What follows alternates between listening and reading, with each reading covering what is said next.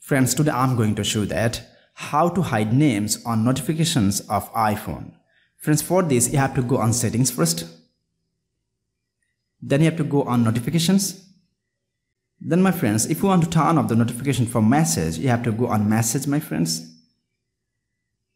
After that, simply you have to turn off allow notifications. And it will be turned off for all notifications of messages my friends. But if you want to turn off names on notifications of particular one, for this you need to go on message option my friends. You have to go on message app. After that you have to tap on particular contact my friends like this one. Then you have to tap on the top. Then my friends simply you have to turn on hide alerts. Now it is turned on right? Simply have to turn on hide alerts. And you can hide names on notifications of iPhone. Then you have to tap on done.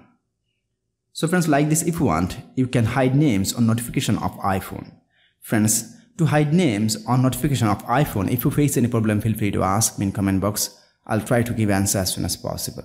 Friends, if this video helpful too, please like, share, comment and especially subscribe my YouTube channel and press the bell icon to get next video notifications. Thank you for watching. Hope so next time I'll come with another exciting video. Till then take care. Bye bye.